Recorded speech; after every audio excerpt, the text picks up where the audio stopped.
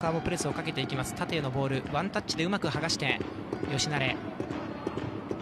縦に入れて右サイド。ここには小野沢。さあ小野沢から中逆サイド山根だ先制点はセレッソ大阪 U23 耐えに耐えて今日初めてのシュートが貴重な先制ゴール。これで1対0山根とは今シーズン初ゴールです。ここは小野沢から速いボール遠いサイド走っていた山根とは